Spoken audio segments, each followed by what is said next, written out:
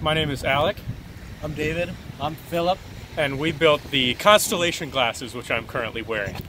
They are glasses that, based on the position of your head and a GPS module that's in the part that hangs down behind your back, will tell you what uh, will convert your head position to an absolute um, position in the sky, a right ascension and declination, and tell you what star you're looking at.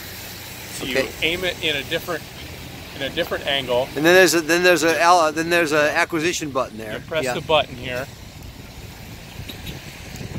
And then you're going off to some. So it tells me I'm looking at a star in Pegasus right now. Cool. And then you turn it a different direction. Yeah.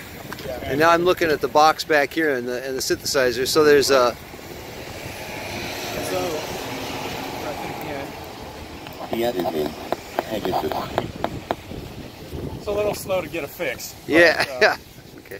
Um, so what's happening behind the scenes is there is a Wi-Fi module in this box that the PIC32 sends a request to with the right ascension and declination, and there's a Python server on my computer, locally hosted, that searches through a CSV to find what's going on, um, In the sky in the near sky, near near near where you. the you were- yeah. and then uh, sends that to a Python text-to-speech module, which gets converted to 7-bit ASCII characters, sent back to the PIC, um, or to the Wi-Fi module, read in the PIC through the UART, and then converted to through the DAC to the speakers.